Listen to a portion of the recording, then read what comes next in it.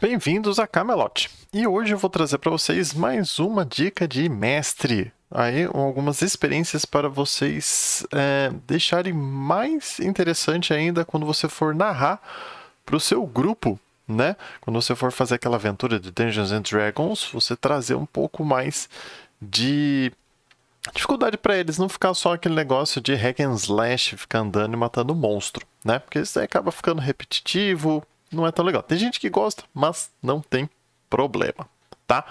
É, então, eu trouxe aqui para vocês um pouco da minha experiência durante essas férias. Se você me segue lá nas redes sociais, você sabe que eu viajei. Eu fui para as montanhas e eu fui para as cavernas. Então, deixa eu comentar um pouco aqui com vocês e vou trazer um pouco do Dungeons and Dragons nessa experiência pessoal minha, tá?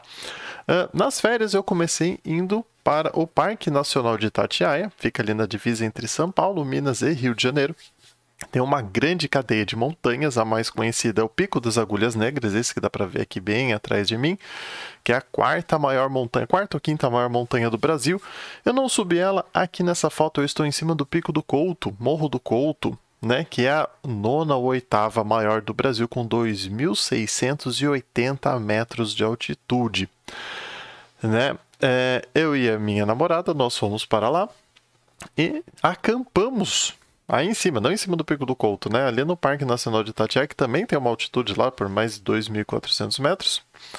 E foi isso daí que a gente enfrentou. Temperaturas negativas, o carro congelou, a nossa barraca congelou, né? O camping congelou.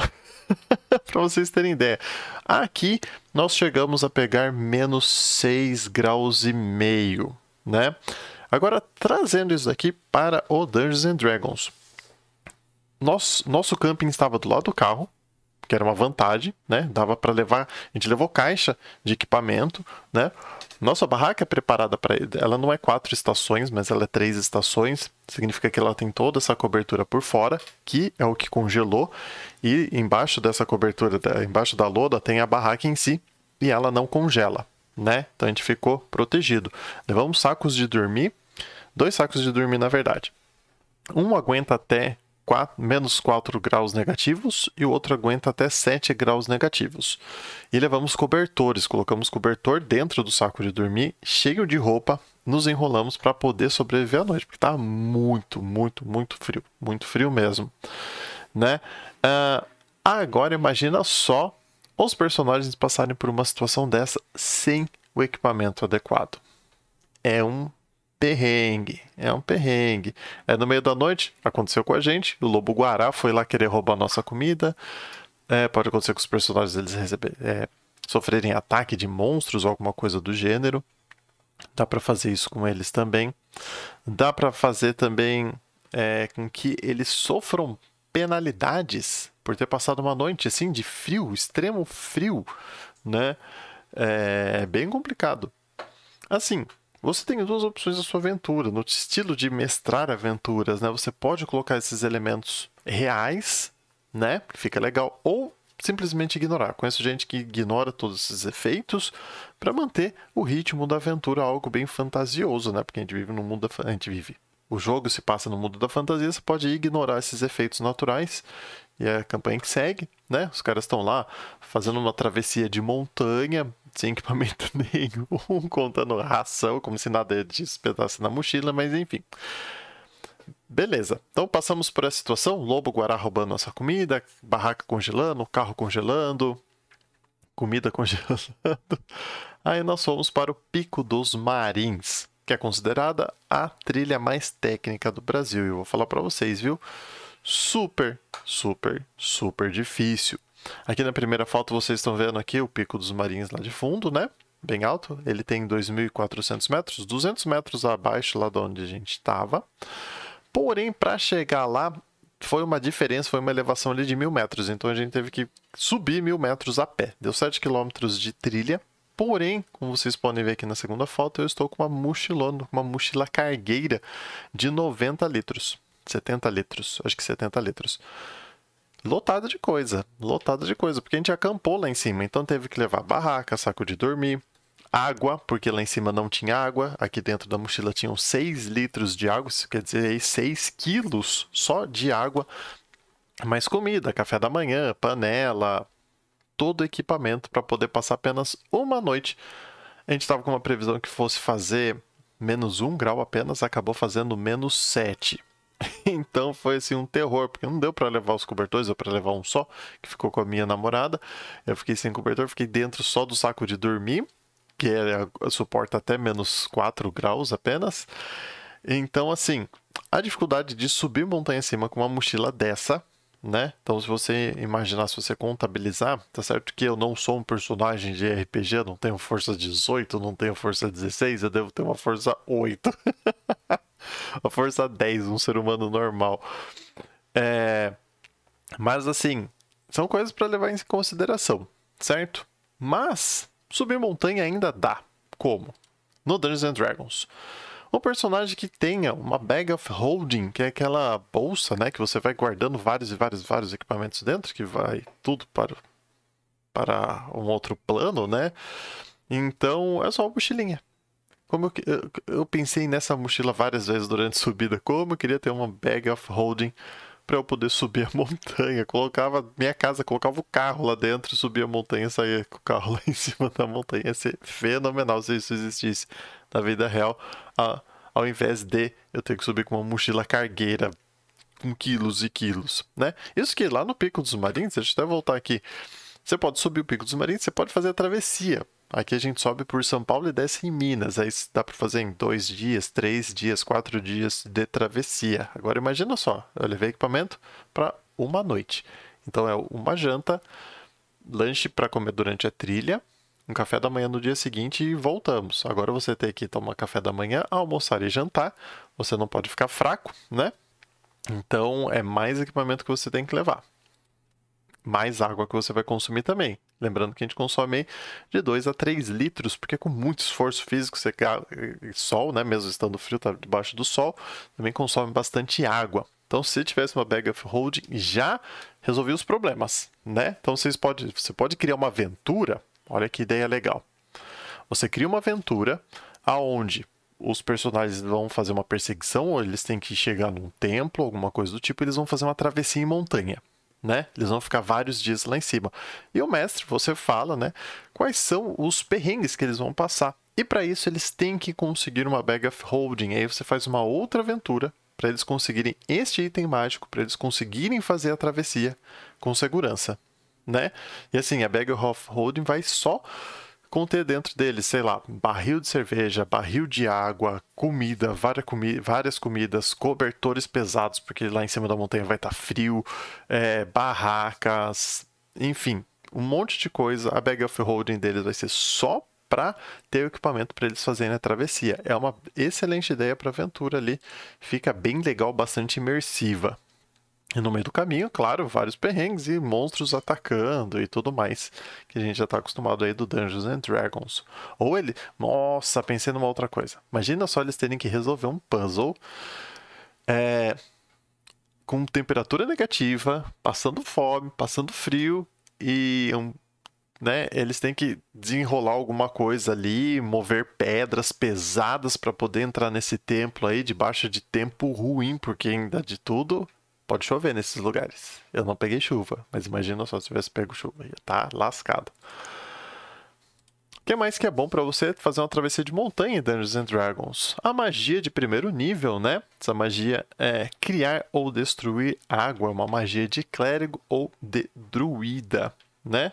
É uma magia muito boa, né? Você cria até 30 litros de água. Imagina você fazer 30 litros de água todos os dias. Eu não ia passar esse perrengue lá em cima, não, de ter que ficar levando muita, muita água, né?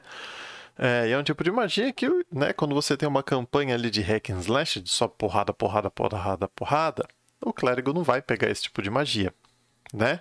Então, se você tá num grupo só porradeiro, você quer, né, pegar eles ali, você faz uma aventura dessa daí para eles passarem perrengue e que uma magia dessa faria falta. Outra magia legal também é bom fruto, né?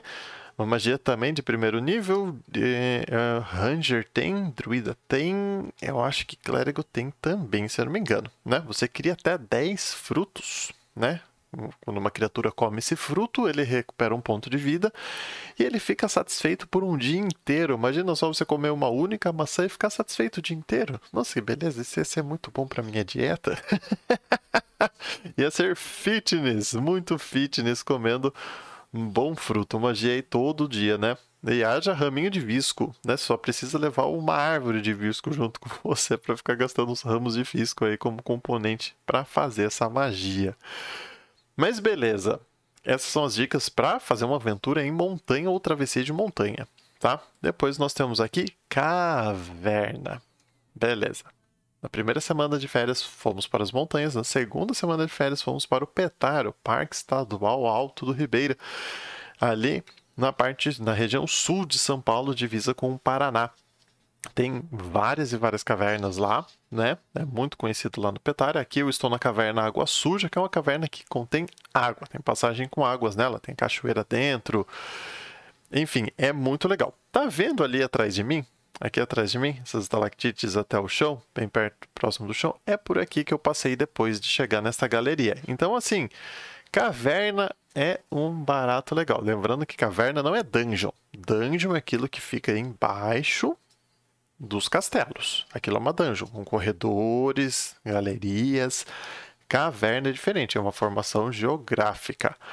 Então, né, que eu até coloquei a cartinha aqui no Over Magic, né? Cave of the Frost Dragon, as estalactites, eles tendo que lutar ali dentro. Essa caverna tá bom para lutar, né? Chãozinho plano pro, pro, pros aventureiros dragão bem espaçado ali no lugar.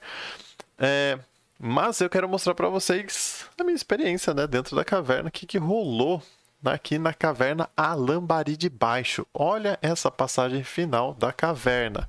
Água até o peito, e eu tenho 1,85m, eu sou bem alto, então a água aí deve ter mais ou menos 1,5m de profundidade.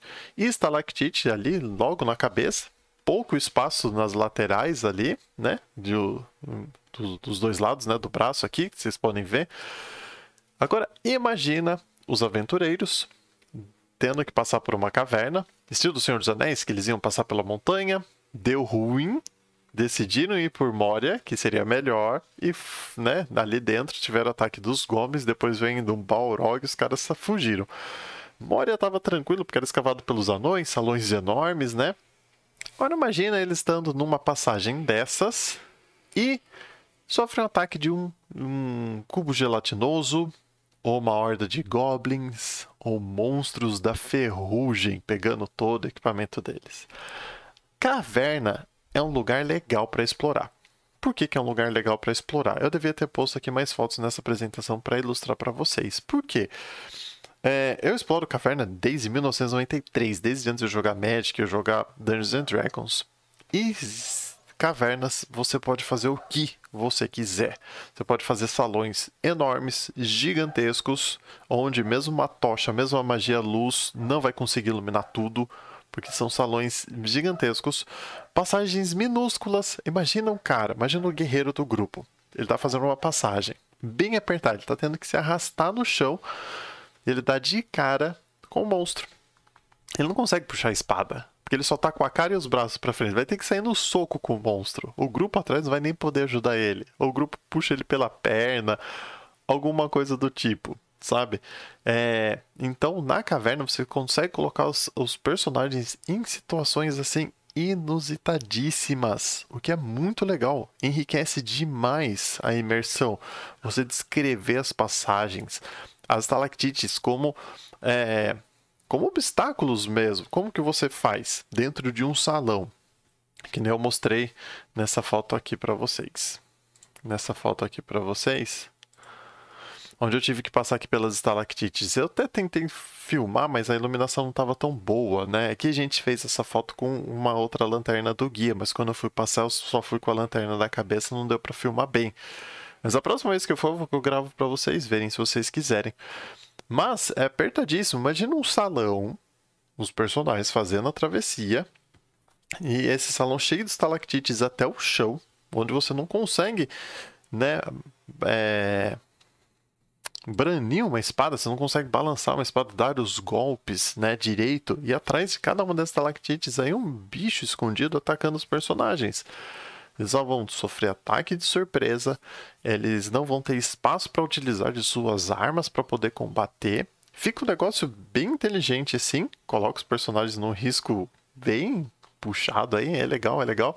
Fica bacana, né? Espero que vocês tenham gostado aí dessas dicas geográficas para incrementar a sua partida de Dungeons and Dragons. Se você gostou das dicas, deixa aí nos comentários. Não esquece de seguir lá nas redes sociais, no Instagram, no TikTok, no Twitter. É tudo Camelot Gaming.